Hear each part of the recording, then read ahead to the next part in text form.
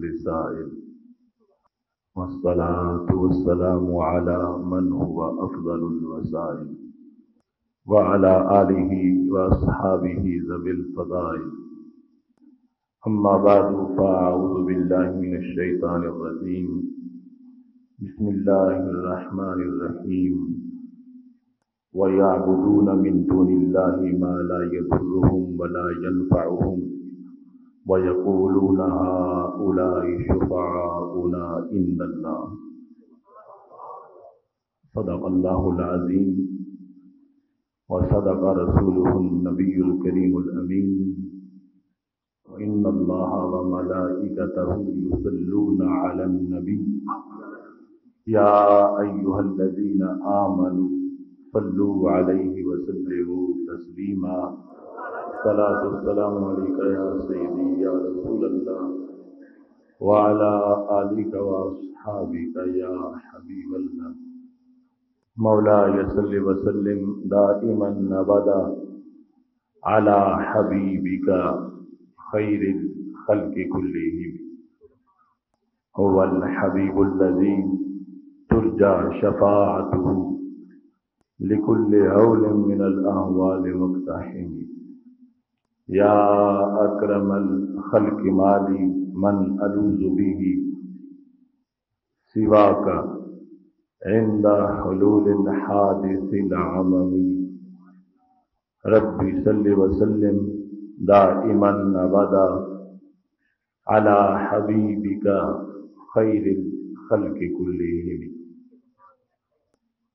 अल्लाह तबारक व ताली जल्ल जलालुहु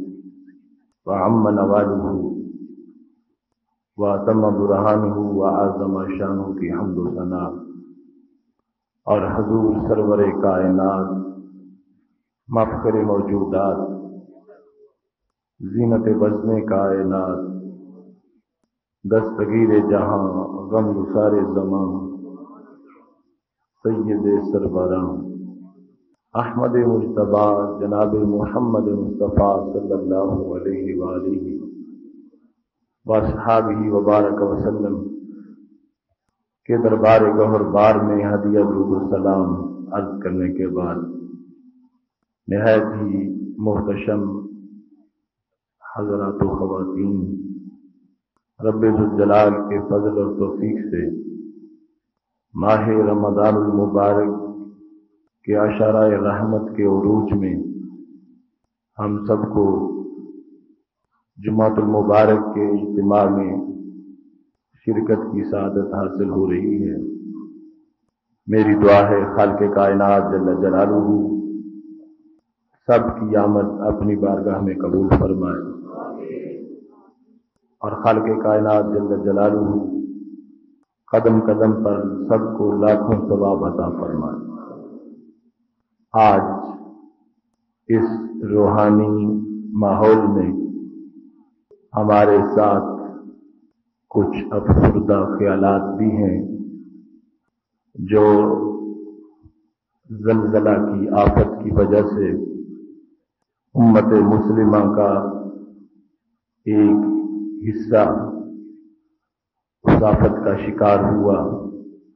बहुत से लोग शहीद हो गए। बहुत से जख्मी हुए, बहुत से बेघर हुए, बहुत से लोगों के आशियाने टूट गए, बहुत से लोगों की उम्मीदों के गुलशन वीरान हो गए। यकीनन उनका रंज, अफसोस और दुख दर्द जिगर में महसूस हो रहा है।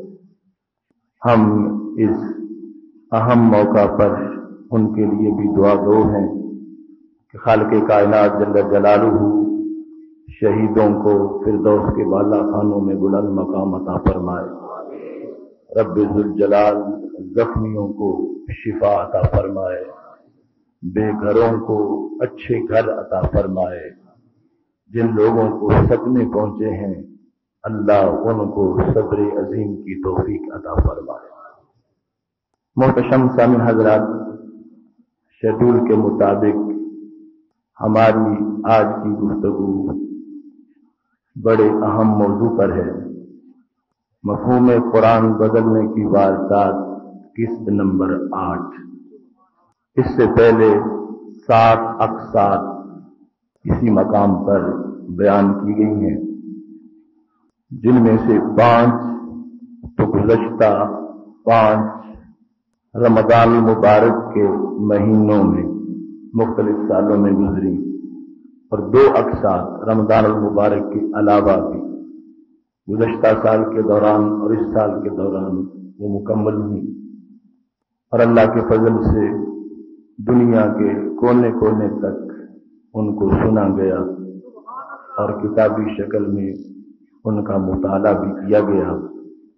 आज का मौजू फिर उसी अहम बात से मुंसलिक है कि कुरान मजीद, जो कि किताब हिदायत है, जो किताब नूर भी है, किताब सरूर भी है, जिसमें ज़िंदगी भी है और ताबिंदगी भी है, इसके अल्फाज को और इसकी आयात को जब गलत पस मंजर में पढ़ा जाए तो फिर इसी कुरान मजीद से गुमराही फैलती है और इसी से अंधेरों के सौदागर कायनात में अंधेरे बांटते हैं। हमने अल्लाह के इज़म उसकी तौफीक और हुक्म से यजम कर रखा है।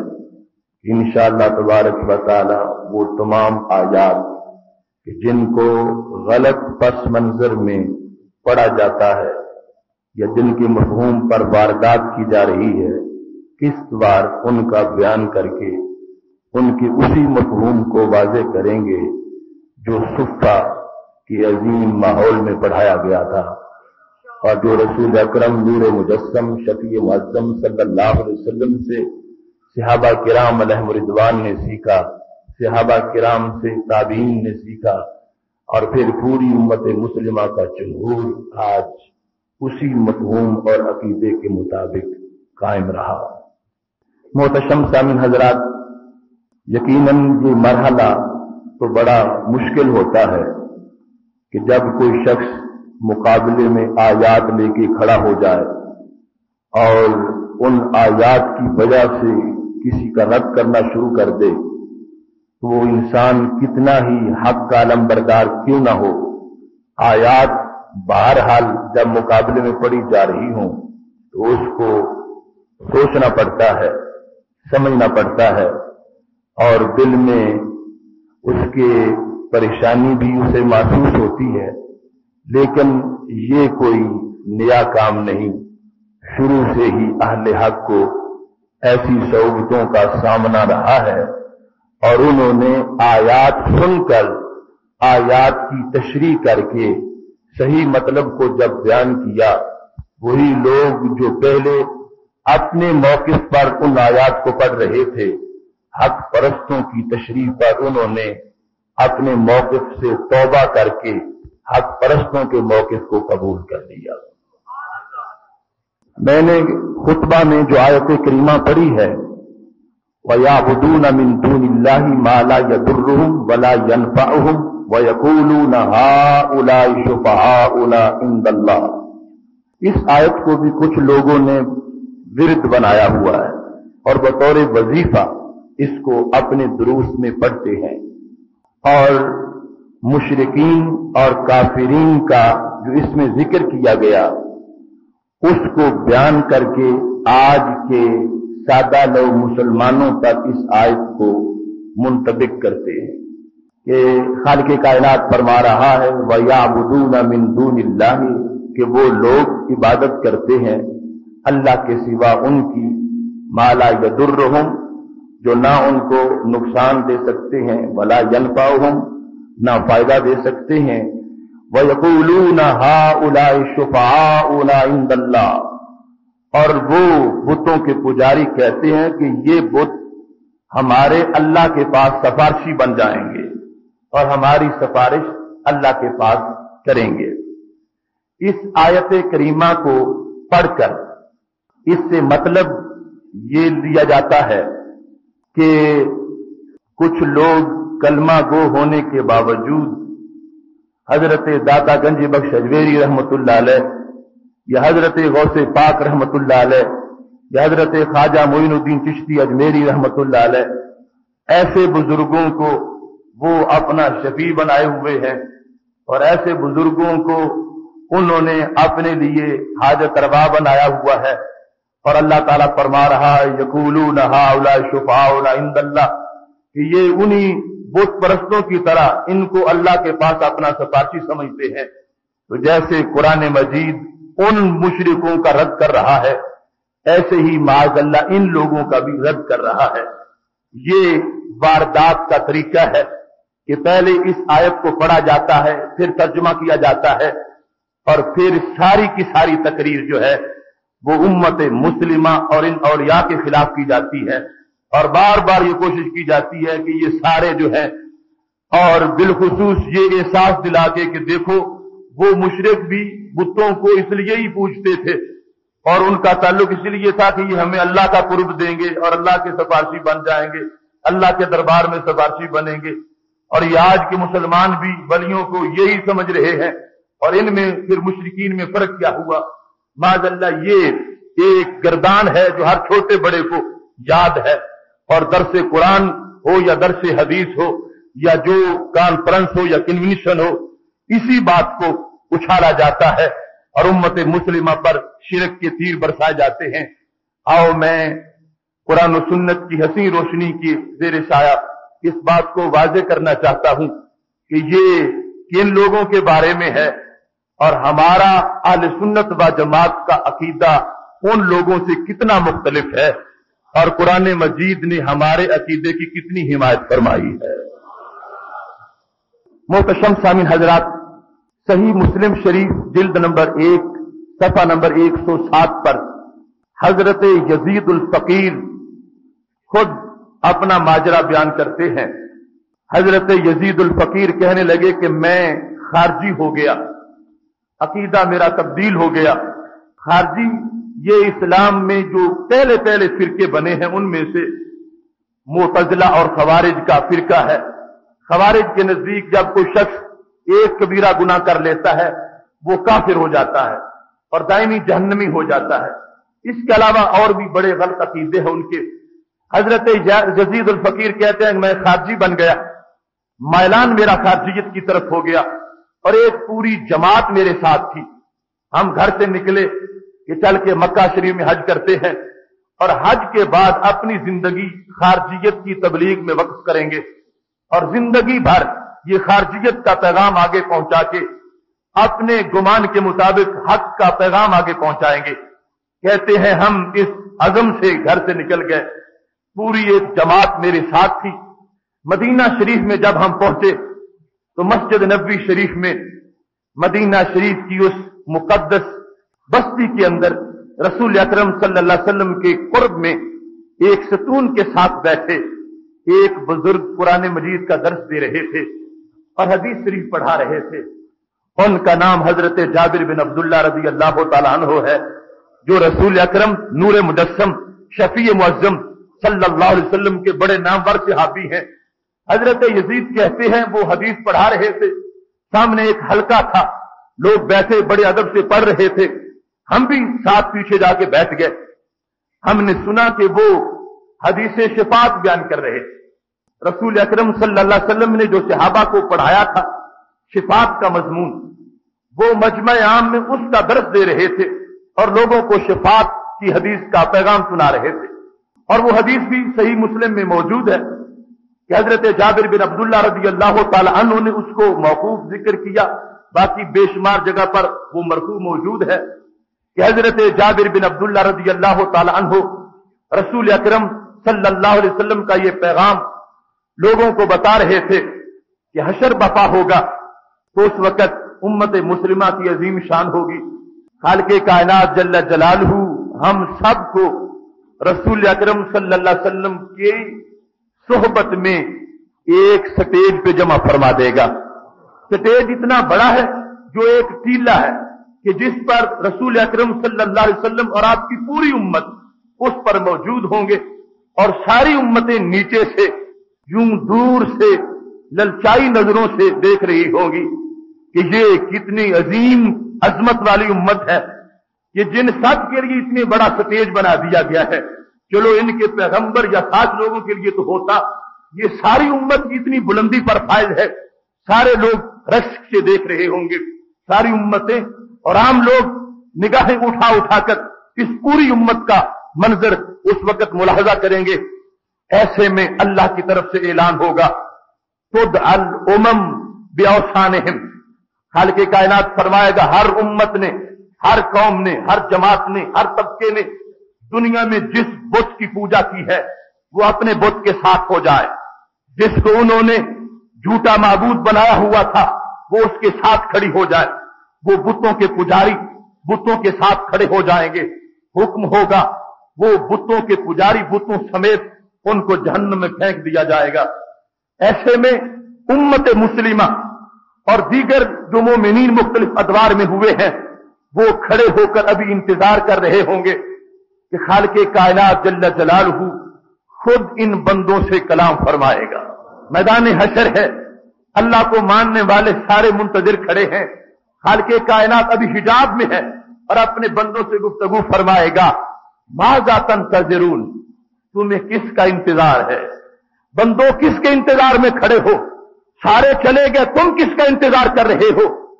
तो सारे इंसान जो कलमाए हक पर मौजूद दुनिया में रहे हैं, और बिलखसूस रसूल अक्रम, नूर मुजस्म शफी मुजम वसल्लम की उम्मत के नफूस बोलेंगे, नन तजरो रब्बना। हम अपने रब के इंतज़ार में खड़े हैं। वो बुतों के पुजारी, बुतों के साथ मिले। और उनको अपने झूठे महबूदों के साथ जहन्नम में फेंक दिया गया। हम तो अपने रब के इंतज़ार में खड़े हैं। तो खाल के कायनात फरमाएगा, आना रब्बुकुम। तुम्हें मेरा इंतज़ार था तो मैं आ गया हूँ। मैं तुम्हारा रब हूँ।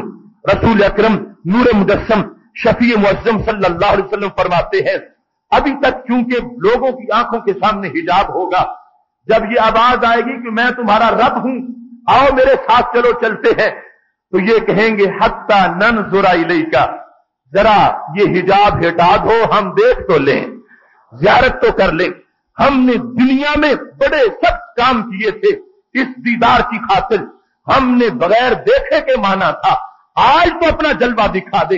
अभी जन्नत में जाने का मामला बाद में होगा हाल के कायनात हशर के उस माहौल में ही अपने बंदों को अपना दीदार करा देगा। हिजाब दूर कर देगा। यद हको। रसूल अक्रम वसल्लम फरमाते हैं कि उस वक्त खाल के कायनात मुस्करा रहा होगा। मैदान हशर, जहाँ किसी का कोई पुरसान हाल नहीं, किसी का कोई प्रोटोकॉल नहीं, वहाँ पर हक परस्तों के लिए कैसा एजाज है? जन्नत में जाकर दीदार इलाही मिलना वो बात का मामला था। हशर बपा होने के बाद हाल के कायनात ने खुद उधर जलवा किया है। खुद उधर अल्लाह तशरीफ़ ले गया है जिस तरह भी उसकी शान के लायक है। और यह कह दिया है, मैं तुम्हारा रब हूँ। जब बंदों ने दीदार का तकाजा किया है, खाल के कायनात जल्ल जलालू ने दीदार अता फरमा दिया है।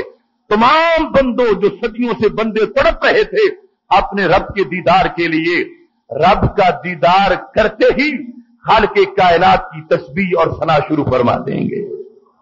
और ये भी हम हक परस्तों का अकीदा है।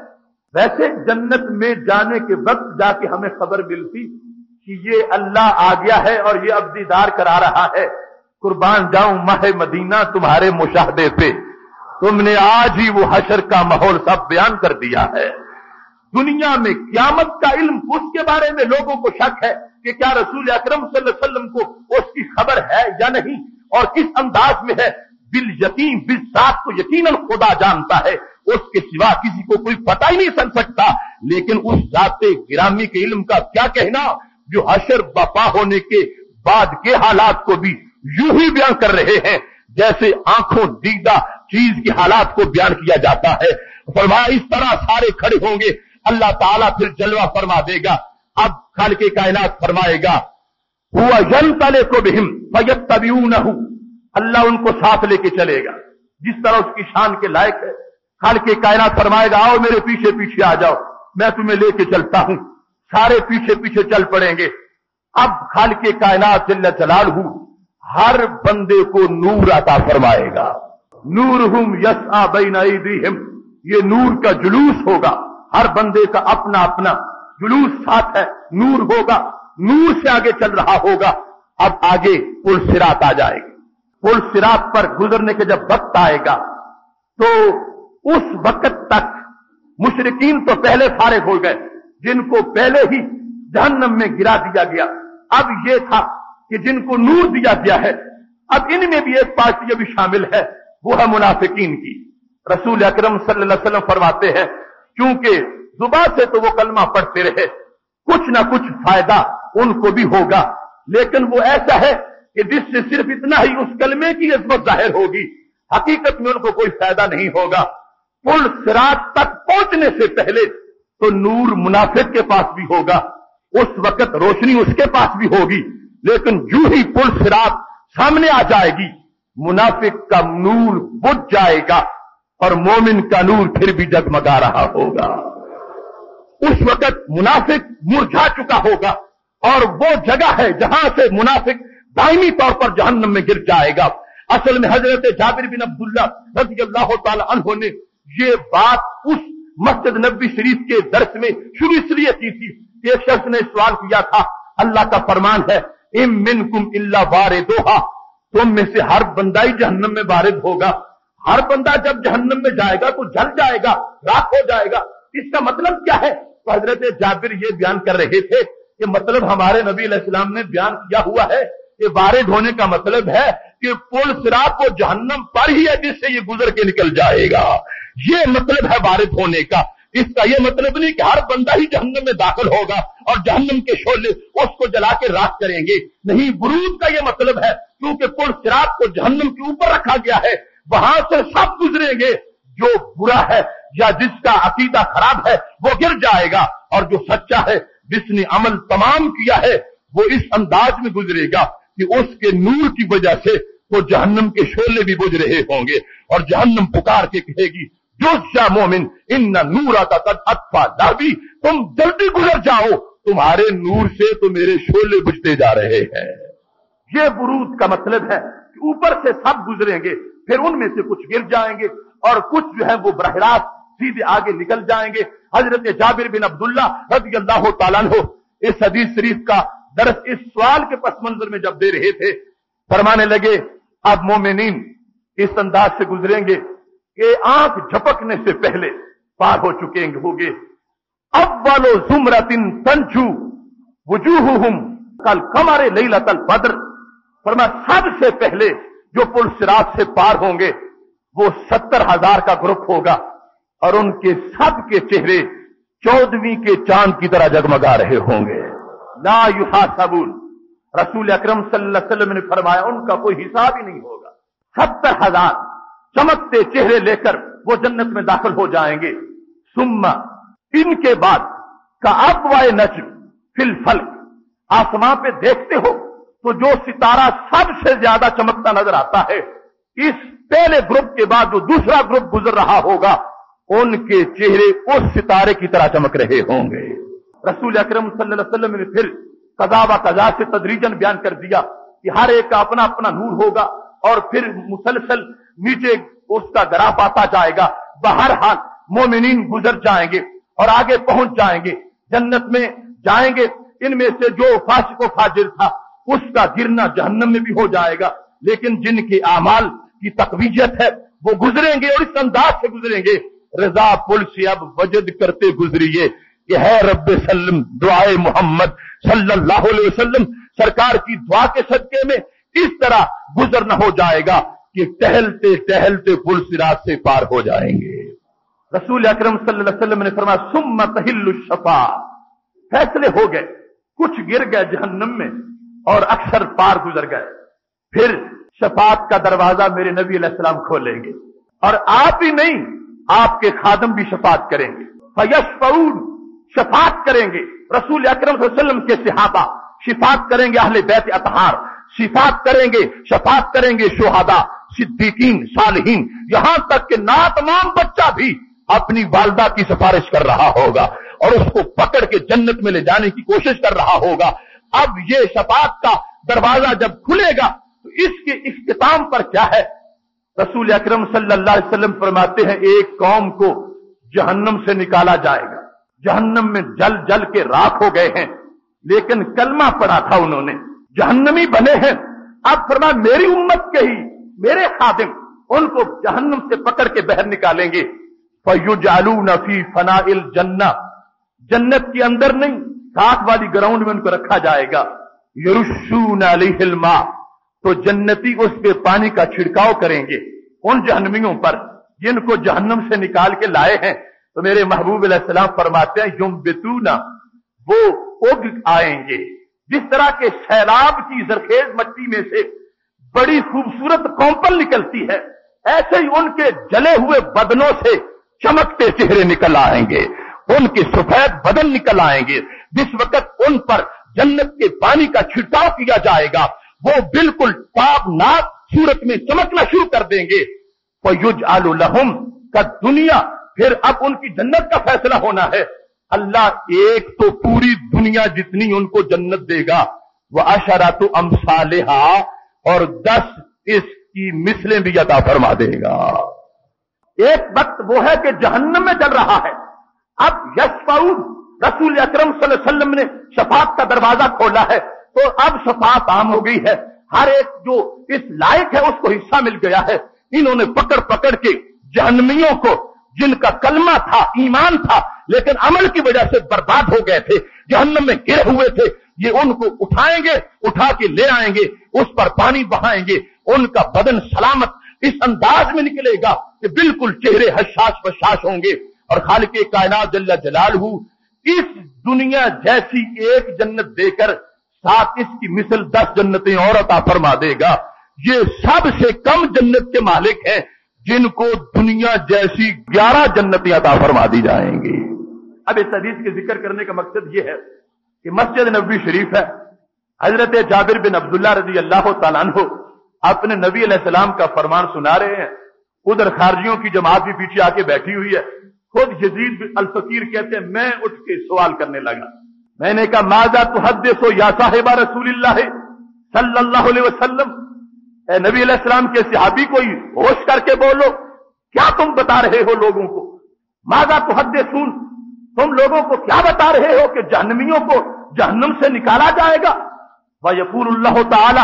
और उधर पुराने मजीद में तो अल्लाह का फरमान और है। तुम किस तरह ये कहते हो कि जहनमियों को जहन्नम से निकाला जाएगा? हाल के कायनात तो फरमाता रब्बना इन्न का मन तुदखिल नारा फकत अखजईता वमालिमीन मिन अंसार आले इमरान है हाल के कायनात का फरमान है रब्बाना, ये बंदा कहेगा है अल्लाह इन्न का मन तुदखिल नार। जिसको तूने जहन्नम में दाखिल कर दिया एक मरतबा, फकत अखजईता अब उसको तो तूने रिसवा रुसवा कर दिया। वमालिमीन मिन अंसार अब उसका तो कोई मददगार है ही नहीं। उसे कोई निकाल ही नहीं सकता। वो बाहर आ ही नहीं सकता। बाहर निकल ही नहीं सकता। तो हज़रत जाबिर, देखो तुम क्या बता रहे हो। अल्लाह का कुरान तो कहता है, जो जहन्नम में चला जाएगा, निकल नहीं सकेगा। और तुम कहते हो कि इस तरह निकाला जाएगा बेहिसाब, निकाल निकाल के उनको जन्नतें दी जाएँगी। और फिर सूरह हज की आयत भी पढ़ दी। कुल्लमा अरादू आई यफरुजू मिनहा उईदू फीहा वजूकू अजाब हरी कि जब भी जहन्नमी ये इरादा करेंगे, कुल्लामा अरादू अजू मिनहा मिन हम मिन कि घुटन की वजह से चाहेंगे कि हम जहन्नम से बहर निकले। वो ईदू फीहा उनको फिर लौटा दिया जाएगा। और कहा जाएगा, जूकू अजाब अल हरी अब चखो अजाब। तुम आज का अजाब चखो।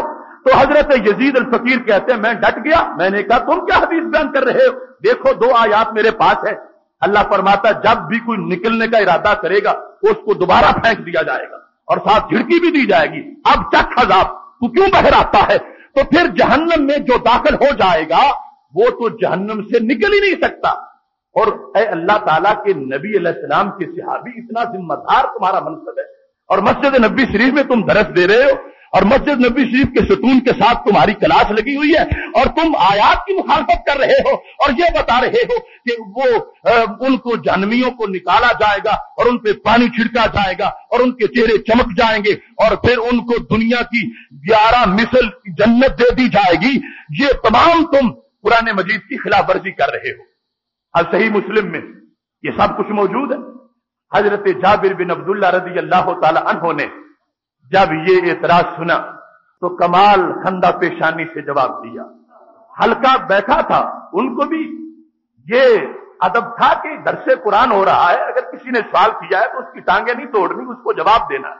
और अब वो सवाल करने वाला, अब देखो, दो आयात पेश करके सवाल कर रहा है, और सुनना जब जवाब आएगा तो वही खारजियत से तोबा करके इस्लाम का कलमा पढ़ेंगे।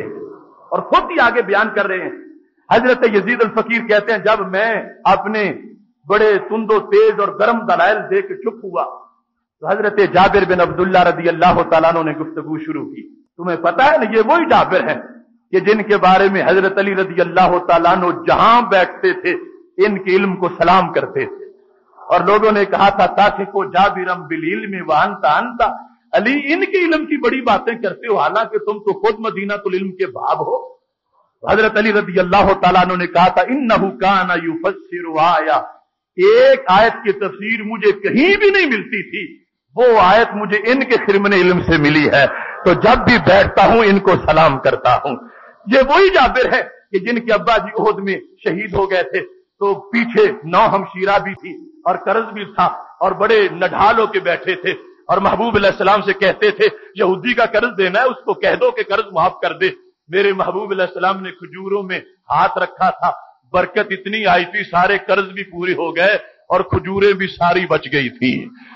वो हज़रत जाबिर बिन अब्दुल्ला रज़ी अल्लाह तु अब मस्जिद नबी शरीफ में शेखुल हदीस है और हदीस पढ़ा रहे हैं। जिस वक्त ये सवाल हो गया, हदीस के मुकाबले में दो आयात आ गई तो फरमाने लगे, हज़रत जाबिर बिन अब्दुल्ला रदी अल्लाह तहो तकराउल कुरान है मुझसे सवाल करने वाले, क्या तुम कुरान पढ़ते हो? तुम्हें कुरान आता है? कुरान जानते हो? तो ये कहते हैं, नाम हाँ कुरान ही मैंने पढ़ा है। मुझे कुरान आता है। मैं कुरान पेश कर रहा हूँ। मेरे पास कुरान है। मैंने कुरान से दलाल पेश किए हैं। तो फरमाया, हल समेता मकाम मोहम्मद सल्लल्लाहु कुरान पढ़ने वाले तुझे कुरान से मकाम मुस्तफ़ा सलाम का पता नहीं चला? क्या तुमने सुना है? हज़रत मोहम्मद मुस्तफ़ा वसल्लम का मकाम क्या है? पूछा गया, कौन सा मकाम? अब वो वजाहत में आयत की रोशनी में करना चाहता हूँ, जिसको वहाँ पर इजमाल के साथ बयान किया गया। मकाम वो फरमा भी नाफिल का आसाई अब आशा का रब्बू का मकाम महमूदा। जहनवियों वाली आयात जो तुमने पढ़ी तो तुमको मकाम महमूद वाली आयत नज़र नहीं आई? तब फरमाता है व मिनल फतहजत रात के वक्त नफल पढ़ लो तहजुद के। तहजुद पढ़ो, ये तुम्हारे लिए नाफिला तल्लक। ये तुम्हारे लिए स्पेशली इन एडिशन है कि तुम रात को तहजुद पढ़ो। अशा यब आशा का रब्बू का मकाम महमूदा। वो वक्त करीब आने वाला है जब अल्लाह तुझे मकाम महमूद पे खड़ा कर देगा। हज़रत जाबिर बिन अब्दुल्ला रदी अल्लाह तला कहने लगे, मकाम मोहम्मद अल्लाजी युखरिजुल्लाहु बिही, मई युखरिजो। मकाम महमूद का बताओ और तर्जमा क्या है? मकाम महमूद का और मतलब क्या है? मकाम महमूद की और हैसियत क्या है? मकाम महमूद नाम ही उस मकाम पर है। कि जिस पे खड़े होने वाले वो अजीम इंसान होंगे, जिनके बारे में इशारा करेंगे, उन जहनमियों को जन्नत अता फरमा दी जाएगी। मकाम महमूदा, वो मकाम कि जहाँ नबी सलाम खड़े होंगे तो हर कोई तारीफ़ कर रहा होगा। ये मतलब है, इसका माना है कि जहाँ हर कोई तारीफ़ कर रहा होगा, रसूल अक्रम, नूर मुजस्म शफी मुअज्जम सल्लल्लाहु अलैहि वसल्लम की। अभी इसकी वजाहत से पहले अब आयात पर तबसरा सुन लो कि हज़रत जाबिर बिन अब्दुल्ला रज़ी अल्लाह ने आयात का इनकार नहीं किया, बल्कि एक और आयत का हवाला देकर मतलब वाजे किया है कि वरना वारदात हो जाएगी, तुम वारदात कर रहे हो आयात पढ़ के। आयात सही है, तुम मतलब गलत ले रहे हो, और मतलब तब सही हम समझ आएगा जब मकाम महमूद वाली आयत सामने होगी। क्या मतलब बनेगा? फरमा खाल के कायनात जल्ला जलाल जहन्नम में जिन लोगों को दाखिल करेगा, उनकी दो कैटेगरीज होंगी। एक वो है कि जिनको खुलूद के साथ दाखिल किया जाएगा। हमेशा के लिए ये कौन है? काफिर मुशरक। और दूसरी कैटेगरी क्या है कि जो दाखिल तो होंगे, लेकिन कुछ वक्त के लिए ये गुनाहों की सजा लेंगे और फिर उनको निकाल दिया जाएगा। तो हज़रत जाबिर बिन अब्दुल्ला रदी अल्लाह तहो ने समझाया कुल्लमा अरादू युखरिजू मिन हा मिन फीहा, कि जिनके बारे में कुरान ये कह रहा है कि वो जब निकलेंगे, निकलना चाहेंगे, उनको धक्का दे के फिर गिरा दिया जाएगा। ये उन लोगों की बात नहीं जिनके दिल में कलमा इस्लाम मौजूद होगा। ये उन लोगों की बात है जिन्होंने ज़िंदगी शिरक में गुजारी होगी, कुफर करते रहे होंगे। इनको कभी भी जहन्नम से बाहर नहीं निकलना दिया जाएगा।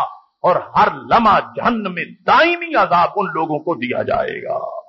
और दूसरी तरफ़, इसका अगर पस मंजर देख लो, जो आज हमें तवज्जो से इसका सामने मतलब आ रहा है तो पीछे बात ही काफिरों की आ रही है।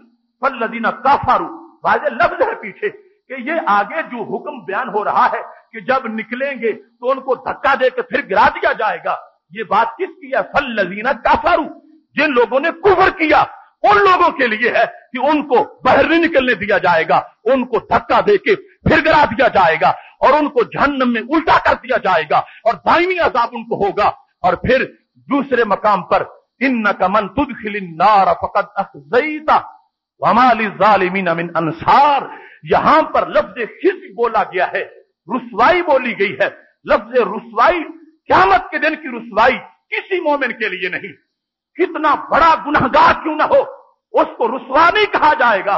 इस वास्ते के अल्लाह का फरमान है, योम युखजिल्लाबीजा वल्लजीना आमनुमा क्यामत का दिन वो दिन है जिस दिन अल्लाह अपने नबी सलाम को भी रुसवा नहीं होने देगा और ईमानदारों को भी रुसवा नहीं होने देगा। मतलब क्या बना? जहन्नम में जाकर भी जो कुछ वक्त के लिए गए हैं, उनके जाने को रुसवाई नहीं कहा जाएगा, खिज नहीं कहा जाएगा। क्योंकि अल्लाह का वादा है खिज सिर्फ़ मुशरकिन के लिए है, वो हमेशा रहेंगे और वो रुसवाई है, ये जाएँगे ततहीर के लिए, ये जाएँगे पाक होने के लिए, ये जाएँगे अगर पहले बख्शा ना गया, सफारिश कबूल ना हुई तो कुछ वक्त के लिए जाएँगे, वो जाना इनके लिए मुफीद हो जाएगा, जिससे इनकी ततहीर हो जाएगी, लिहाजा इन न कमन तुद नारा फकत अखजईता ये आयत है ही मुशरकिन के लिए और काफिरों के लिए। उनको अल्लाह फरमा रहा है वमालिमीन मिन अंसार इन काफिरों का कोई हामी नहीं, कोई मददगार नहीं। इनको कोई बचा नहीं सकेगा, इनको कोई निकाल नहीं सकेगा। अब मस्जिद नबी शरीफ है, सुफा का माहौल है। हज़रत जाबिर बिन अब्दुल्ला रदी अल्लाह तु की तकरीर है। सिहाबा बैठे हैं, ताबीन बैठे हैं। जब दो आयात पेश करके वारदात की कोशिश की गई, हज़रत जाबिर बिन अब्दुल्ला रज़ी अल्लाह तलान हो जो इल्म नबूवत के बारिश हैं, उन्होंने कुरान की आयत पढ़ के सही मतलब को वाजे फरमा दिया। अब इसमें एक बात तो बिल्कुल आपके सामने वाजे हो गई कि किसी का कुरान पढ़ना ये उसके हक पर हक होने की दलील नहीं है। कुरान गलत मकासद के लिए पढ़ा जा सकता है और कुरान गलत मतालिब के लिए पढ़ा जा सकता है। और बड़े बड़े लोगों के सामने ये पढ़ा गया। हज़रत जाबिर बिन अब्दुल्ला रज़ी अल्लाह तु एक एक आयत की तफसीर में जिन्होंने कई कई महीने बसर किए हैं, उनके सामने जसारत कर रहा था। हज़रत यजीद फकीर की उन्होंने बड़ी आयात पढ़ी और अपना मौके पेश कर रहे थे कि जो जहन्नमी है, वो जहन्नम से निकल ही नहीं सकेगा। और तुम ये हदीसे शिफात बयान कर रहे हो। हज़रत जाबिर बिन अब्दुल्ला ने आयत पढ़ के सुना दिया कि अगर जहन्नमी जहन्नम से निकल ही नहीं सकेगा तो नबी सलाम को मकाम महमूद पर खड़ा करने की हिकमत क्या हो सकती है? आपके लिए जो मकाम महमूद है, वो मकाम महमूद ही इस बात की दलील है। आयात का माकबल पढ़ो तो फिर भी समझ आ जाएगा। लेकिन हज़रत जाबिर बिन अब्दुल्ला रज़ी अल्लाह तु ने फ़ौरन जो जवाब दिया तो वो मकाम महमूद आयत पढ़कर उनको जवाब दे दिया कि तुम आयात को सही तब समझ सकोगे जब तुम्हारे सामने दूसरी आयात भी मौजूद होंगी और उनको देख कर कहोगे कि एक आयत का हुक्म कुछ लोगों के साथ है, दूसरी का कुछ लोगों के साथ है, जो तुमने दोनों पढ़ी, उनमें से किसी का ताल्लुक भी मोमिन के साथ नहीं। वो आयात मुशरकिन के बारे में है और वो आयात कुफार के बारे में है। और जो निकालने वाली बात हो रही है, ये मोमिन की बात हो रही है काफिर की बात नहीं हो रही, काफिर यकीन जहन्नमी रहेगा। ये मोमिन है, बिल आखिर जन्नती बन जाएगा। और मुझे अफसोस है, आज तक लोगों को इस बारे में मुलेखा लगा हुआ है। गवर्नमेंट कॉलेज लाहौर का एक प्रोफेसर, इस्लाम याद उसने किताब लिखी। यही आयात लिखी आज भी जिद्दी है कि जहन्नम से कोई नहीं निकल सकेगा। इतना उसको जहन्नम का शौक है कि जहन्नम से कोई निकल ही नहीं सकता। आयात दलालत कर रही है और फिर इस पर कितनी अहादीस मौजूद है। लेकिन वो जाहरी मफहूम जिसको समझने के लिए खुद कुरान की आयात हमारी रहनमाई कर रही है कि जहन्नमी जो इस अंदाज में दाखिल होंगे, कुफर शिरक की हालत में वो कभी नहीं निकल सकेंगे। लेकिन जिसने ईमान कबूल किया है, कितना ही बदकार क्यों ना हो, बिल लाकर जहन्नम से पाक होकर जन्नत में दाखिल हो जाएगा। अल्लाह ताला ने जो अल्फाज बोले और आयत पढ़ने से पहले अंदाज क्या था? हल समेत अब मकाम मोहम्मद कुरान के हवाले देने वाले तुमने मकाम महमूद आज तक नहीं पढ़ा? मकाम महमूद क्या है? अलबहरुल मुहित में हज़रत अब्दुल्ला बिन मसूद रज़ी अल्लाह तु इसका तर्जुमा करते हैं। और हज़रत अब्दुल्ला बिन अब्बास, हज़रत अब्दुल्ला बिन मसूद तो यह कहते हैं मकाम ज़मीन अल अर्श अर्श की दाई तरफ़ हशर के दिन रसूल अक्रम सल्लम नूरी चेहरे के साथ, नूरी लिबास के साथ खड़े हो जाएँगे। अर्श के दाएँ तरफ़ और हर निगाह जो उठेगी, आपकी तारीफ़ कर रही होगी। और आप शफात का दरवाज़ा खोलेंगे आपसे पहले कोई खोल नहीं सकेगा। और जब आप खोलेंगे तो आप ही की दी हुई इजन से और आपकी उस खोलने के फैज से जो अल्लाह की तुमसे आपको इजाज़त मिली, क्या होगा? फिर उम्मत के औलिया भी अपने खुदाम की शफात कर रहे होंगे। हज़रत अब्दुल्ला बिन अब्बास रदी अल्लाह तु का अंदाज बड़ा अजीब है। वो कहते हैं, मकाम महमूद क्या है? अर्श। खाल के कायनात अपने नबी सलाम को अपने साथ अर्श पे बिठा लेगा।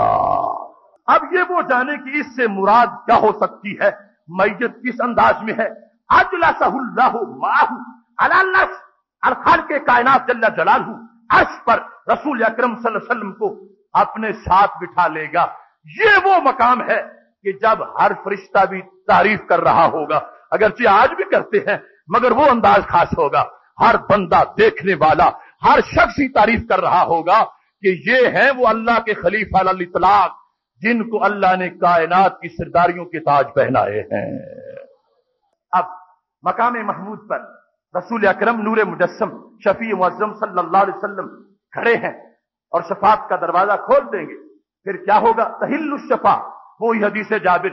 जो रसूल अक्रम का फरमान बुखारी में भी है, मुस्लिम में भी है, शफात जब खुल जाएगी यशपाउन और बंदे भी शफात करेंगे। अब वो आयत सामने रखो, जो हमने वारदात की इनकी शाख के लिए शुरू में पड़ी है।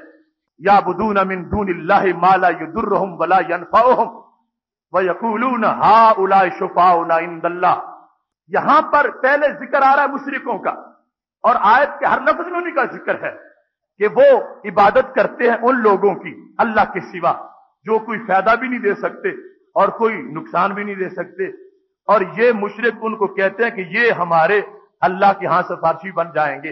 ये आयत, और अब इसके सामने वो आयात और वो मफहूम हज़रत जाबिर बिन अब्दुल्ला रज़ी अल्लाह तु ने बयान किया है और मकाम महमूद वाली आयत। और फिर जशफून के अल्फाज, ये बिल्कुल आमने सामने आ जाएँगे। इधर क्या है? एक शफी नहीं, कई शफा हैं। रसूल अक्रम वसल्लम भी हैं, आपके सिहाबा भी हैं। सत्तर हज़ार का कोटा तो सिर्फ़ हज़रत उस्मान गनी रज़ी अल्लाह तला का है। हर हर सिहाबी के अलहदा कोटे हदीस में मौजूद हैं। फिर सिद्दीक है, शहीद है और या है, सोफा, सूफिया है और सोहाद है। यहाँ तक असिकुल मुराद मुरब्बा हूँ सरकार फरमाते हैं, ना तमाम बच्चा भी रब से झगड़ा करेगा कि मैं भी अपनी अम्मी को जन्नत में लेके जाऊँगा। इस हद तक शफात आम हो जाएगी। अब कुरान भी सही है और ये फरमान भी सही है हत आयात सही है। तो मतलब क्या है? उधर बात मुशरकिन की है। और इधर बात मोमिनीन की है, वो मुशरक है, जिनको मकाम महमूद का साया नहीं मिलेगा। ये मोमिन है, जिनको मकाम महमूद का साया मिल जाएगा। वो पुत्रों की प्रस्तश करते हैं, और ये मोमिन अल्लाह के सिवा किसी की प्रस्तश नहीं करते। वो पुत्रों को अपना शुफा कह रहे थे। अल्लाह ने मुस्ताब कर दिया। ये महबूब को अपना हामी कह रहे हैं, अल्लाह ने ऐलान फरमा दिया। हा उलाई शुफा इंदल्ला हावला इसमें इशारा है, ये ये हमारे शुफा हैं, ये हमारे शुफा हैं, वो बुत्तों के जूते पुजारी बुत्तों के आबिद बुत्तों के बारे में कह रहे ये हमारे पुजारी हैं। इतनी दोरी वारदात की जा रही है इस मकाम पर, किसी के ये कहा जाए, ये चूड़ा तेरा मामू है, उसके लिए ये भी बड़ा गुस्से का मामला है। मामू उसका अगरचे आम सा इंसान हो, लेकिन किसी चूड़े की तरफ़ उसको मंसूब कर दिया जाए कि वो फुला चूड़ा तेरा मामू है, वो कहेगा, तुमने तो मेरी गैरत पर हमला किया, चूड़े को मेरा मामू बना दिया। इन जालिमों का जुल्म देखो। लातो मलाक को हमारा शफी कहते हैं। हाउलाए की जगह, हाउलाए की जगह वो है और ये हाउलाए दाता साहब पे बोल रहे हैं। हाउलाए के इशारे ये हज़रत खाजा साहब पर कर रहे हैं। हाउलाए के इशारे सैगिना सिद्दीक अकबर रबी अल्लाह तला की तरफ़ कर रहे हैं। और हाउलाए का इशारा कायनात के महबूब हज़रत मोहम्मद मुस्तफ़ा सल्लल्लाहु अलैहि वसल्लम की तरफ़ कर रहे हैं। इससे बड़ा जुल्म क्या हो सकता है?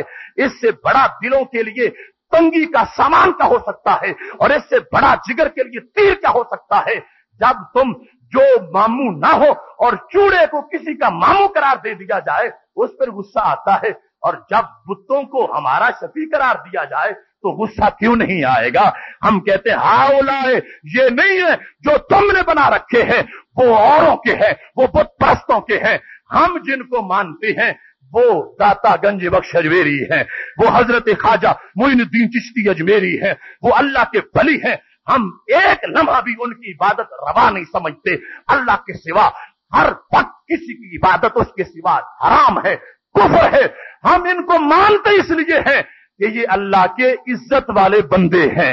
उसकी इबादत करते हैं, अपनी नहीं करवाते, अल्लाह की करते हैं। अल्लाह ने इबादत की वजह से इनको मकाम दे दिया है। जो ये बोलते हैं, अल्लाह पूरी फरमा देता है। या बुदून अमिन इल्ला पहला लफ्जी वाजे कर रहा है कि बलियों को बुतों के साथ ना मिलाओ। इस वास्ते कि बलियों के दीवाने बलियों की इबादत नहीं करते। कोई बली माबूद नहीं है। कितना ही बड़ा गौस क्यों ना हो, कितना ही बड़ा कुतुब क्यों ना हो, कितना ही बड़ा बली क्यों ना हो सालिक क्यों ना हो, सूफी को ना क्यों ना हो, वो हर किस बाबूद नहीं है। एक फ़ीसद भी उसकी इबादत जायज़ नहीं है। वो खुद अल्लाह की इबादत करने वाला है। हमने उनको इसलिए मान रखा है कि वो अल्लाह की इबादत करके कुर्ब में पहुँच चुके हैं। भला बुत कुर्ब में पहुँच कैसे सकता है? उन लोगों को अकल का इलाज करवाना चाहिए। बुत तो मरदूद है। बुत अल्लाह का गजब शुदा है। बुत अल्लाह का दुत्कारा हुआ है। वो तो कुर्ब में हो ही नहीं सकता। हम उनकी शिफात मांगते हैं जिनको अल्लाह ने कुर्ब अपना अता फरमा रखा है। हा उलाए शुफा उला इंदल्ला वो बुत और वो काफिर, इधर मोमिन और इनके वली, मोमिन और इनके नबी, मोमिन और इनके सिद्दीक और शहीद हल के कायनात जल्ला जलालहू ने बिल्कुल वाजे अंदाज में दोनों को अलहदा बयान कर दिया। अब ये ज़्यादा है इस जमाने की सबसे बड़ी। इतना बड़ा हमला हो जाता है, फिर भी लोग कहते हैं कि उन्होंने तो कोई फिरका वारियत की ही नहीं, वो किसी को कुछ कहते ही नहीं है। इससे बड़ा और क्या कहना होगा? जब एक चूड़े को तुम अपना मामू नहीं मानते तो जब एक बुत को तुम्हारा शफी बनाया जा रहा हो, इससे बड़ा हमला क्या हो सकता है? हम वाजे करते हैं, कोई बुत हमारा शफी नहीं है। हम लालत भेजते हैं बुतों पर और हम नारे लगाते हैं अल्लाह के बंदों के, जो खल के कायनात जल्ला जलालहू की इबादत करने वाले हैं। और एक लम्हा भी, उनकी इबादत हराम और शिरक और कुफर है। वो अपनी इबादत नहीं करवाते और ना ही हम उनकी करते हैं। वो अल्लाह के कुर्ब में यूँ पहुँचने वाले हैं। मेरे महबूब फरमाते हैं यश पऊन सारे ही वली शफात कर रहे होंगे। और अल्लाह उनको अपने अपने हिस्से का कोटा अता फरमा देगा। अब आगे हदीसे शफात, किस अंदाज में हज़रत जाबिर उसी इज्तमा में चूँकि अभी वो माफल तो जारी है। हज़रत यजीद ने सवाल किया था, अभी जवाब मिला है। अभी उन्होंने तबसरा करना है कि अब मैं बिल्कुल सही हो गया हूँ। हज़रत यजीद कहते हैं, हज़रत जाबिर ने मुझे जवाब दे दिया, मगर इस तरह के यूँ लगता था कि अब इल्म के किसी समुंदर का कोई किनारा टूट गया है, मुसलसल बोल रहे रहे थे और इतने दलाइल दे रहे थे कि अखाफ अल्लाह फजा मुझे खतरा हुआ कि अब ये सब कुछ तो मैं याद ही नहीं रख सकूँगा। ये जितने दलाल बयान कर रहे हैं और जितनी ये तकरीर कर रहे हैं, कहने लगे, मुझे इतना उसमें से ज़रूर याद है कि हज़रत जाबिर बिन अब्दुल्ला रज़ी अल्लाह तला कहते हैं कि जिस वक्त मोमिनीन जो भी जहन्नम में थे, उनको जहन्नम से निकाल के बहर किया जाएगा तो उनकी सूरत क्या होगी?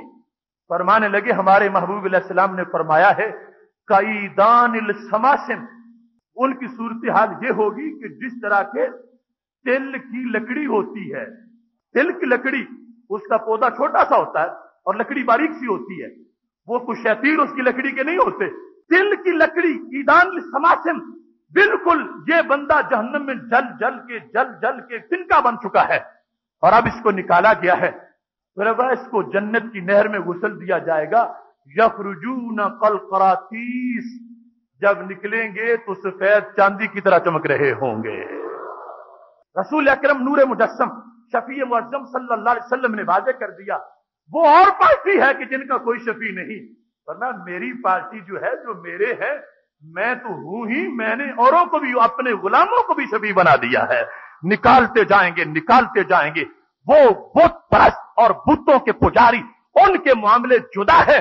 अब देखो, आयत के अंदर भी अल्लाह ने वाजे फरमा दिया जिसमें यह फरमाया था कि इन न कमन तुद खिली नारा फकत था क्या अल्लाह, जिसको तूने जहन्नम में दाखिल किया, उसको तूने रुसवा कर दिया। आगे क्या लफ्ज है? वमालिमीन सबके नज़दीक यहाँ जालिमीन का माना है काफिरीन। ये काफिरीन का कोई मददगार नहीं है। मालिमीन अमिन अंसार मालिमीन अमिन अंसार एक जगह नहीं, दर्जनों मकाम पुराने मजीद में ऐसे हैं, जहाँ मोयन करके काफिरों को कहा गया। इनका कोई वाली नहीं, इनका कोई वली नहीं, इनका कोई माला नहीं, इनका कोई मददगार नहीं। कितना शौक है उन लोगों को। अपने मददगार की जो अल्लाह से इजन से मददगार बनेगा, उसकी नफी करके खुद अपने आप को उस कुफर वाले तबके की तरफ़ ले जा रहे हैं। इस वास्ते के कुरान तो यह कह रहा है, मोमिन के मददगार की नफी कहीं भी नहीं की, बल्कि वज अल्लाह मिल्लदुन का वलीजा वज अल्लाह मिल्लदुन का नसीरा। मोमिनों की तो यह शान बयान की है कि फरमान, मेरे मोमिन का वली भी होता है, उसका मददगार भी होता है, नसीर भी होता है बली भी होता है। और इधर, माल जालिमीन अंसार फरमा, हमने जिनको जन्नम में दायमी दाखिल कर दिया, ये काफिर हैं। और ये ठीक है, इनका कोई मददगार नहीं, लेकिन जिनके दिल में ईमान है, हज़रत जाबिर ने उसी तकरीर में कहा, याजिन हब्बा तशरा जो जितना भी, जो जितना भी जिसके दिल में खैर है, जिसने कलमा पड़ा है उसको भी जहन्नम से निकाल के जन्नत अता फरमा दी जाएगी। अब इस गुफ्तगु से कोई यह भी असर ना ले कि जब शफात है तो फिर हमें नमाजों की ज़रूरत क्या है, रोज़े की ज़रूरत क्या है? बड़े वादे फ़र्क है। ये नमाजें, रोज़े इसलिए ज़रूरी है कि अगर ये होंगे तो फिर जहन्नम में जाने नहीं पड़ेगा, बरह रास्त जन्नत मिल जाएगी। और अगर ये नहीं है, कमी है तो फिर दो जानबी हैं। या तो अल्लाह माफ़ करेगा बरह रास्त और नबी सलाम की सिफारिश आप सरकार फरमा देंगे, या अल्लाह माफ़ नहीं करेगा, सरकार सिफारिश नहीं फरमाएँगे तो फिर बंदा जहन्नम में चला जाएगा। लेकिन जहन्नम में जाकर यकीन शफात मिलेगी। कोई मोमिन जहन्नमी ऐसा नहीं है जिसको सरकार की शफात नहीं मिलेगी।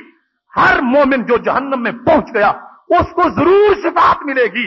लेकिन अमल इसलिए ज़रूरी है, क्या शौक है उतनी देर जहन्नम में जलने का? आज अमल करना चाहिए।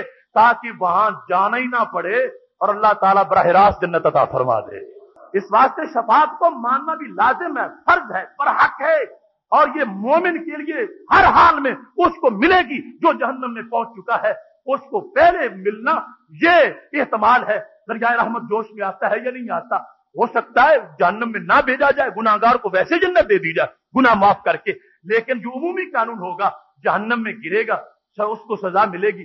अब सरकार की शफात होगी और उसको निकाला जाएगा। ये भी तो बड़ा ही कमाल है ना, क्योंकि जहन्नम में दायमी रहना और कुछ वक्त के लिए रहना और फिर जन्नत का वारिस बन जाना, इन दो बातों में बड़ा फ़र्क है। शफात का बहुत बड़ा किरदार है, लेकिन साथ हमें यह पैगाम मिल रहा है कि कोई माज इसी पर अमल ना छोड़ दे। अमल हर हाल में लाजिम है, ताकि महबूब सलाम अमल की बुलंदियों की वजह से हो सकता है वो जन्नत अता फरमा दें जहाँ रोज़ाना आपका दीदार भी होता रहे। बहुत अशम शामिल हज़रत, आप देखो, इस मकाम पर जिस वक्त ये हदीस मुस्लिम में है और आयात पढ़ी गई। सामने हज़रत जाबिर बिन अब्दुल्ला रज़ी अल्लाह ने तकरीर फरमा दी। आयात से मरूब नहीं हुए। जब वो आज पढ़ रहा है? आज सादा मुसलमान तो फ़ौरन कहता है, उसने तर्जमा, वो आयत पढ़ रहा था, कुरान पेश कर रहा था। अगर सच्चा नहीं तो वो फिर कैसे हो सकता है? वो कोई कहानी नहीं सुना रहा था, कुरान सुना रहा था। तो हज़रत जाबिर के सामने भी किसी ने कोई नावल नहीं पढ़ा, कोई शेर पेश नहीं किया, आयात ही पढ़ी है। मगर आयात पढ़ के क्या सच्चा था? नहीं, झूठा था। और हज़रत जाबिर ने झूठ यूँ साबित किया कि हज़रत यजीद फकीर कहते हैं, मेरी जितनी जमात थी, सिवाय एक बंदे की हमने सबने तौबा कर ली। कहने लगे, मैंने कहा, वही हकुम हाजर शेख यकजिब वाला रसूल सल्लल्लाहु हज़रत यजीद, आप वहाँ से नूर पाके अपनी पार्टी को खिताब कैसे करते हैं? फरमाने लगे, तबाह बर्बाद हो जाओ। क्या ऐसा बंदा नबी इस्लाम के बारे में झूठ बोल सकता है, जो जाबिर बिन अब्दुल्ला बैठ के हदीस पढ़ा रहे तो क्या ये झूठ बोल सकते हैं? नहीं नहीं, ये सच बोल रहे हैं। और जो मतलब आयात का इन्होंने बताया वही मतलब है, हम खारजियत से तबाह करते हैं। और फिर वही आल सुन्नत के मसलक पर आते हैं। इसी मसल के इस्लाम के अंदर, मज़हब इस्लाम में मसल के आल सुन्नत पर आ जाते हैं। ये हज़रत जाबिर बिन अब्दुल्ला रज़ी अल्लाह तु का ज़ोर इस्तलाल था और ये कुरान दानी थी और ये फाम कुरान था कि वो जो लोग अपने तई मुबल्लिग भी बने हुए थे मुफसर भी बने हुए थे और जिनका अजम था कि हम पूरी दुनिया को कुरान पढ़ पढ़ के राह रास्त पे लाएँगे, लेकिन खुद भटके हुए थे। हज़रत जाबिर बिन अब्दुल्ला की तजल्ली पड़ी है उन भटके हुए लोगों को जो सकालर टाइप के थे और मुतबारा थे, उनको एक आयत पढ़ के मकाम महमूद वाली राह रास दिखा दिया है। ये उनकी खुशकिस्मती थी। सुना उन्होंने, मान लिया, आज के लोग पता नहीं सिद्धि क्यों हैं। अब कितनी वाजह बात है। और ये जो कुछ मैं पेश कर रहा हूँ, मैं सौ फ़ीसद से जायद यकीन पर पेश कर रहा हूँ। और मिस, मेरे पास सैकड़ों दलाल कुरान सुन्नत इसमें। और जहाँ भी कोई कहेगा मैं ये फ़र्क बयान करूँगा और ये मानना पड़ेगा सबको। इसके सामने कोई दलील नहीं पेश कर सकेगा। दिल से ना माने तो उसका अपना मामला है, वरना पुराने मजीद ने खोल के बयान कर दिया। हा उला शुफाओना इंदल्ला ये जुमला काफिलों का है और ये शुफा बुत है जिनको रद्द किया जा रहा है। और दूसरी आयात वाजे कर रही है कि मोमिनीन जो है, उनको अल्लाह अच्छे दोस्तों से भी मदद अदा फरमाएगा। अब बार बार पढ़ने वाले की कोई फ़ायदा नहीं दे सकता, कोई फ़ायदा नहीं दे सकता। मैं कहता हूँ, उस कबीले का कोई होगा, कोई फ़ायदा नहीं दे सकता। और जो मकाम महमूद पे खड़े होकर करोड़ों को जन्नत दे रहे हो, क्या उनके फ़ायदे का भी इनकार कर दिया जाए? वो भी फ़ायदा नहीं दे सकते। नहीं नहीं, इनके फ़ायदे ही फ़ायदे हैं। इतने फ़ायदे हैं कि जिसको एक निगाह से देखते हैं उसको भी जन्नती बना देते हैं। लात मुसन्नार मर्रानी मैं जिसने मुझे देख लिया, हालते ईमान में जन्म में नहीं जा सकेगा, और जिसने मेरे देखने वाले को देख लिया, वो भी नहीं जा सकेगा। जिनका इतना फ़ायदा हो कि जो कच्चे बच्चे और ना तमाम बच्चे को ये हैसियत दे रहे हो कि वो अपनी बालदा को पकड़ के जन्नत में ले जा रहा हो, उनके अपने फायदों का आलम क्या होगा? लोगों की अकल की, वो सुई फिर गई उन सबके की। कि बार बार इतना हसद बुगज है पैगंबर इस्लाम के साथ और अलिया कराम के साथ कि जो आयात वाजे तौर पर माकबल बयान कर रहा है सहाबा बयान कर रहे हैं कि ये है मुशरकिन के बारे में और ये है बुतों के बारे में। उनका शौक है हर दरस में, हर दीन के कोर्स में, हर तालीम और तस्कीजा में कि हमने यही साबित करना है कि महाजल्ला यही सबसे बड़े बुद्ध हैं जो अल्लाह के बली हैं और ये जो कब्रों वाले हैं महाजल्ला ये सबसे बड़े मुजरिम हैं और इनको मानने वाले ये सबसे बड़े मुशरक है महाजल्ला कुरान वाजे कर रहा है कि खाल के कायनात जल्ला जलालू ने दो जुदा जुदा पार्टियाँ बनाई हैं। ये आयात उनके बारे में है और जो हमारी हैसियत है, इसको मकाम महमूद ने, नबी सलाम ने बयान कर दिया है कि आपके खुदाम भी जन्मियों को उठाएँगे, जन्नत अता फरमाएँगे। अब मकाम महमूद का मंजर जरा आलम तस्वुर में देखो, कितना हसी मंजर होगा। सारी मखलूकत हशर के मैदान में इकट्ठी हैं। और मेरे महबूब सलाम अर्श पे जलवागर हैं। क्या सूरत हाल होगी? क्या अंदाज होगा? बरेली के इमाम इमाम इल्म हज़रत इमाम अहमद रिजा खां फाजल बरेलवी, रहमतुल्लाह ने निगाह इश्क से वो मंजर देखा। अब ये तस्वुर सामने करो कि सरकार अर्श पर है। सारी मखलूकत की निगाहें उठी हुई हैं और किस अंदाज में हुसन की जलवा बारियाँ हैं। अल्लाह के कुर्ब खास में तशरीफ़ फरमा है। तो बरेली के ताजदार उस माहौल को सामने रखकर कहने लगे, क्या ही जौकफजा शफात है तुम्हारी वाह कर्ज लेती है गुना परहेजगारी वाह या रसूल अल्लाह सल्लल्लाहु अलैहि वसल्लम, कैसी तुम्हारी शफात है और कितना ही इसका खूबसूरत अंदाज है। क्या ही जौक अफजा, शफात है तुम्हारी वाह वाह कर्ज लेती है गुना परहेजगारी वाह वाह खामए कुदरत का हुसने दस्तकारी वाह वाह क्या ही सूरत अपने प्यारे की सवारी वाह वाह मकाम महमूद पर जलवा घर है और इधर से देखकर ये पढ़ा जा रहा है खामए कुदरत का हुसने दस्तकारी वाह वाह क्या ही सूरत अपने प्यारे की सवारी वाह वाह सदके इस इनाम के, कुर्बान इस इकराम के हो रही है दोनों आलम में तुम्हारी वाह वाह सिर्फ़ दुनिया में ही नहीं उकबा में भी। जब बड़े बड़े ताजवर गिर गए हैं, किसी का कोई मनसब बाकी नहीं रहा। वो जो बड़ी बड़ी कुर्सियों पर थे, वो मोम जामे बन चुके हैं और पसीने में डूब चुके हैं। आल हज़रत कहते हैं, इसको कहते हैं इकराम और इसको कहते हैं इनाम। और इसको कहते हैं सरबरी, और इसको कहते हैं ताजवरी और इसको कहते हैं सरदारी और इसको कहते हैं किस्मर का ताजवर होना कि हो रही है दोनों आलम में तुम्हारी वाह वाह दुनिया में थे, फिर भी वाह वाह के डंके बज रहे थे। आज अशर में देखा है, वही डंके ज़्यादा बज रहे हैं। अब देखो, ये आज अकीदा होगा तो कल ये मंजर सामने होगा, और फिर सफारिश का हिस्सा मिल रहा होगा।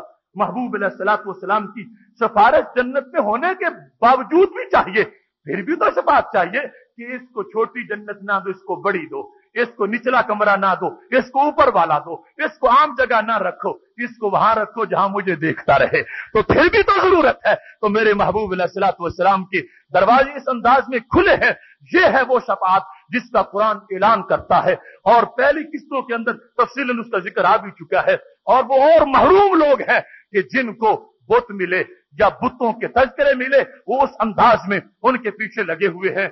आहले हक को खाल के कायनात जलालू ने वो सिरात मुस्तकीम अता फरमाया है, जिस पर चलते हुए आज भी दिल को हशर की वो रौनक महसूस हो रही है।